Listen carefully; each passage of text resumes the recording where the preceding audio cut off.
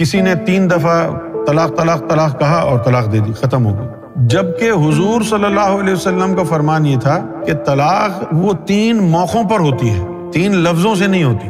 भले आप एक हज़ार मरतबा तलाक कह दें तो वो एक ही तलाक समझी जाएगी। इसमें प्रोटेक्शन किस बात की है?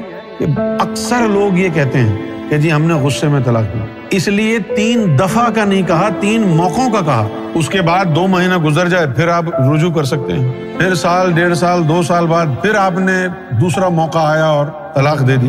अब ये दो तलाकें होगी आप फिर भी रुजू कर सकते हैं दो महीने बाद।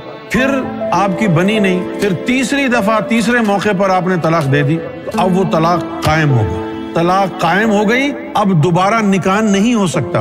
जो मौलवियों ने आपको बताया, उसके अंदर ज्यादती मुसलमानों के साथ हुई। कि यार, हमने तो गुस्से में दे दी थी, अब हमारा क्या कसूर है?